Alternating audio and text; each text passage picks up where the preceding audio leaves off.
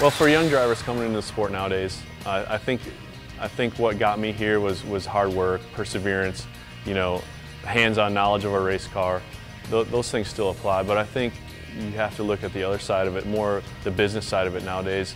Um, understand the marketing, the PR side, the importance of, of sponsorship. You know, I'm, i know when I started in the truck series, um, I remember thinking going to hospitalities and um, sponsor events was, was kind of a pain. You know, I remember thinking, I just want to work on this car, figure out how to make it go fast.